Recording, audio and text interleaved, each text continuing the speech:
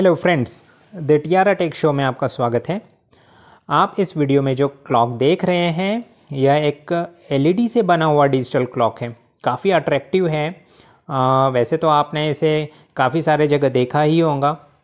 जैसे कि railway station कुछ कमर्शियल कॉम्प्लेक्सेस बस स्टॉप सभी जगह इसे यूज़ किया जाता है।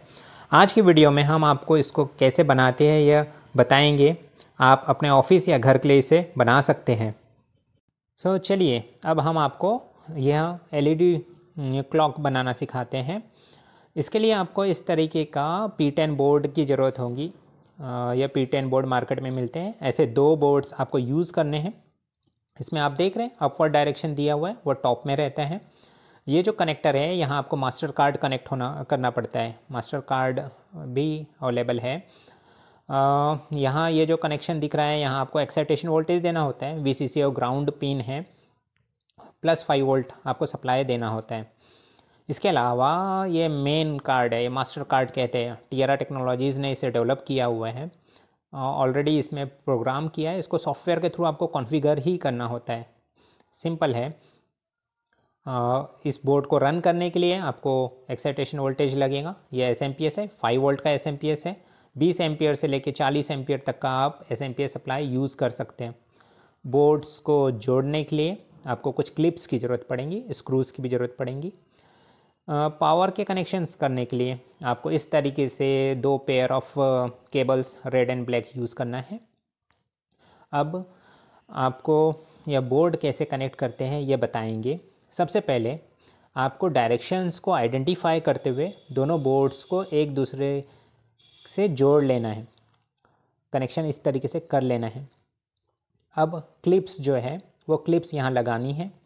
क्लिप्स लगाने के बाद आपको स्क्रूज से उसे टाइट कर लेना है।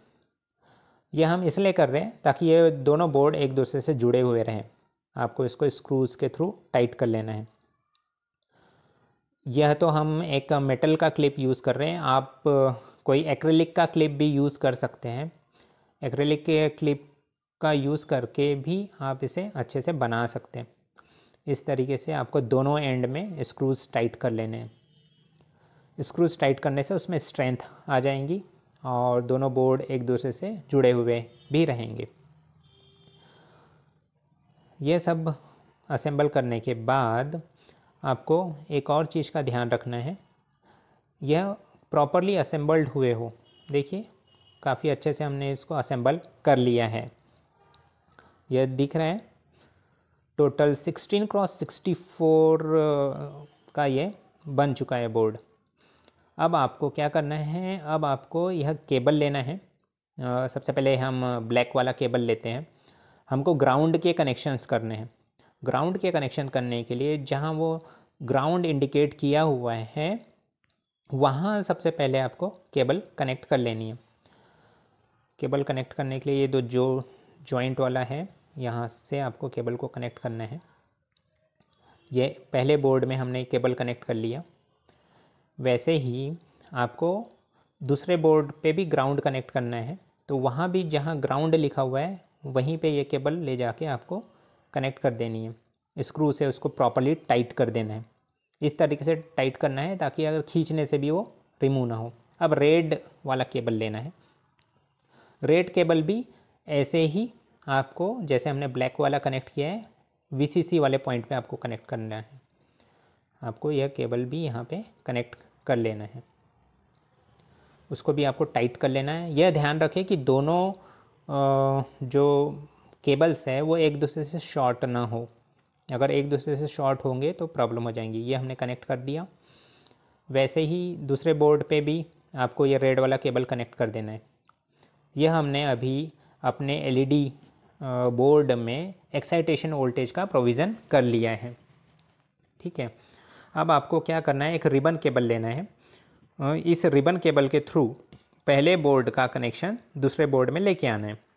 यह जो रिबन केबल है, इससे डेटा सिग्नल ट्रांसफ़र होते हैं। जो मास्टर बोर्ड है, वो मास्टर बोर्ड वहाँ से पहले पहले बोर्ड को देगा और दूसरे बोर्ड पे भी सिग्नल जाएगा।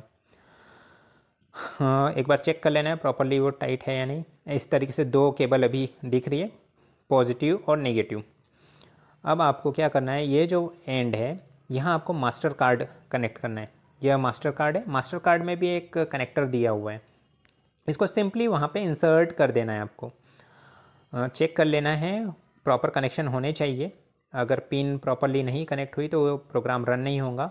इसको वहाँ सिंपली आपको इंसर्ट कर देना है। इंसर्ट हो जाने के बाद इसमें भी ये जो कार्ड है, इस कार्ड में भी रेड एंड ब्लैक केबल दी हुई है। और अब एस एम पी एस का रोल आएगा। एसएमपीएस में पॉजिटिव और निगेटिव, ये दोनों इंडिकेशंस हैं। पॉजिटिव साइड में आपको पॉजिटिव कनेक्शंस करने हैं एलईडी बोर्ड के और मास्टर कार्ड के। तो सबसे पहले हम मास्टर कार्ड के कनेक्शंस कर लेते हैं। यह मास्टर कार्ड का कनेक्शन हम कर रहे हैं। इसे भी आपको टाइटली कनेक्ट करना है। वह ध्यान रखेंगे प्रॉपर कनेक्शन होना चाहिए।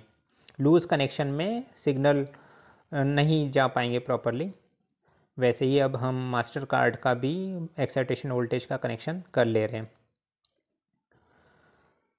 ये हमारे पॉजिटिव कनेक्शन हो गए हैं। वैसे ही आपको नेगेटिव वाला कनेक्शन जो कि ग्राउंड कनेक्शन है, वो भी करना है। एसएमपीएस में वो इंडिकेट किया हुआ है। प्रॉपरली आपको वहाँ पे वो कनेक्ट कर देना है।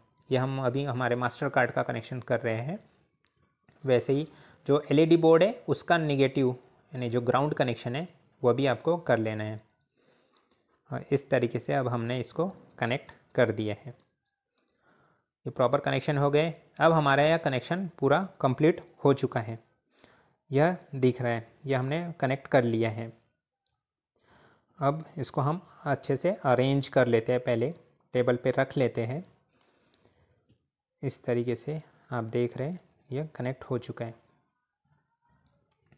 इसमें अब आप ये जो देख रहे हैं, ये सीरियल कनेक्टर है। R S two three two pin connector है। उसी के थ्रू डेटा ट्रांसफ़र होने वाले हैं। हमारा बोर्ड रेडी हो चुका है। ये जो आप देख रहे हैं, यह एक सीरियल कनेक्टर है। Nine pin D type connector कहते हैं इसे। यह हमारे मास्टर कार्ड में ऑलरेडी लगा हुआ होता है। इस कनेक्टर को कंप्यूटर के सीरियल पोर्ट से हमें कनेक्ट करना है। कंप्यूटर में भी इसी तरीके का एक सीरियल कनेक्टर होता है, जिसको इस कनेक्टर के साथ आपको कनेक्ट कर देना है। इसी कनेक्टर के थ्रू हम टाइमिंग्स जो है वो कॉन्फ़िगर करने वाले हैं। ये जो कनेक्टर है, ये भी सेम वैसा ही है। डी टाइप कनेक्टर, इसको आपको कनेक्ट कर देना है। कनेक्ट कर देने के बाद आपको पावर ऑन करना है। पावर ऑन करने पे मास्टर कार्ड में जो बाय डिफ़ॉल्ट बूटिंग मैसेज है वह आपको दिखेगा। अब आपको एलईडी डिस्प्ले एडिटर सॉफ्टवेयर ये फ़ोल्डर है, इसको ओपन कर लेना है। बोर्ड के साथ ही ये मिलता है, इसको आपको ओपन कर लेना है। ओपन करने पे सपोर्ट वाले फ़ोल्डर में आपको जाना है। सपोर्ट फ़ोल्डर में जाने पर आपको एक ई e फ़ाइल दिखेंगी T L E D display या ई e को क्लिक करना है। ई ओपन करने पे आपको इस तरीके से एक नया विंडो दिखेगा जिसमें काफ़ी सारे कीज़ दिख रही हैं। जैसे हमारी नॉर्मल की होती है, वहाँ पे एक कॉम पोर्ट का सिलेक्शन भी दिया है। कॉम वन आपको सिलेक्ट कर लेना है। और इधर पेज सिलेक्शन का भी प्रोविज़न है, लेकिन उसका कुछ नहीं करना है। कॉम सिलेक्ट करके ओनली कनेक्ट वाला बटन पे क्लिक कर देना है। आपको पोर्ट इज़ कनेक्टेड ऐसा मैसेज आएगा। उसके बाद आपको जो भी करंट टाइमिंग है वो करंट टाइमिंग यहाँ एंटर करनी है इस टेक्स्ट बॉक्स में। इसे 24 फोर आवर्स फॉर्मेट में ही आपको एंटर करना है। जैसे अभी हम 16 एंटर किए 16 15 चार बज के पंद्रह मिनट हो रहा है इसीलिए, और सेकंड्स को ज़ीरो ज़ीरो कर देना है। वैसे ही आपको डेट भी एंटर करनी है। डेट आज की 25 मंथ दिसंबर है, इसलिए 12 हम एंटर करेंगे। ईयर्स 20 तो 2020 की जगह ओनली 20 आपको करना है। ये करने के बाद आपको ऑन वाला जो बटन है, इस पर क्लिक कर देना है। जैसे ही आप क्लिक करेंगे यहाँ का जो आपने टाइमिंग का डेटा सेट किया है, यह उस बोर्ड में ट्रांसफ़र हो जाएगा। वैसे यह जो आप एप्लीकेशन देख रहे हैं, इसमें पेज सिलेक्शंस भी है फॉन्ट सिलेक्शंस भी है और आप अलग अलग अलग अलग पैटर्न्स भी सिलेक्ट कर सकते हैं। काफ़ी यूज़फुल है। फ़िलहाल तो हम एलईडी डिस्प्ले को एज अ क्लॉक यूज़ कर रहे हैं तो क्लॉक के लिए इसको कॉन्फ़िगर किया है। यह हमारा एलईडी क्लॉक रेडी हो चुका है जो कि रन भी हो रहा है। सो so, आज के वीडियो में हमने आपको बताया कि पी टेन बोर्ड को हम किस तरीके से यूज़ करके एलईडी क्लॉक बनाते हैं। Thank you for watching